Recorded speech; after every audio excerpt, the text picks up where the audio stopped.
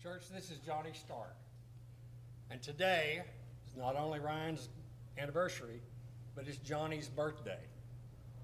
Literally. Thank you. But today, John is going to follow what Jesus told Nicodemus in John chapter 3. Unless you're born again, you cannot be a part of God's kingdom. Johnny, I know that you were raised in a family that taught you to love Jesus. But John was raised not understanding what baptism was or what it was all about. And he's asked us over and over. He was in Wade's class last week, and he came to know what baptism is all about. And John, I'm telling you now that after I take your confession, I'm going to baptize you in the name of Jesus Christ for the remission of your sins, that you would receive the gift of the Holy Spirit. And you will come up a new creature, a new creation without sin. John, do you believe that Jesus Christ is the Son of God? Yes, sir.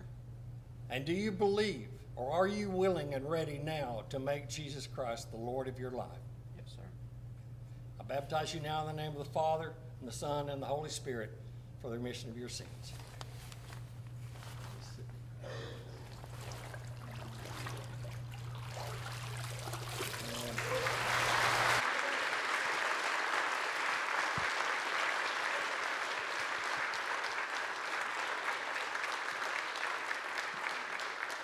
Johnny, I have a charge to read from your church family that comes from Colossians chapter 3, verses 1 through 4.